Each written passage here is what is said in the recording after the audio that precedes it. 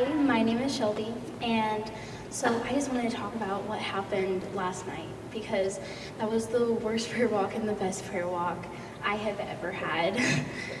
so if you know me, I don't cry a lot.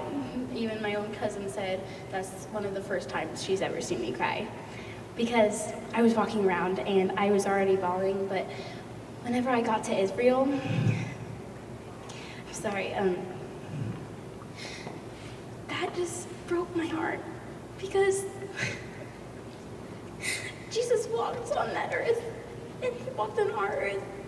And Israel was where he was born and where he walked and where he, he shared about God and, and he shared that he was the Son of God and that's where he was crucified and only 3% of that population believe in him.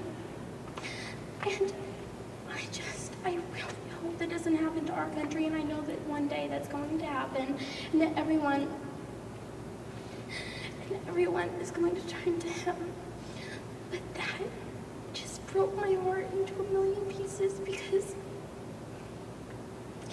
that was the country I was expecting to see almost 100% of, just because those are God's chosen people. And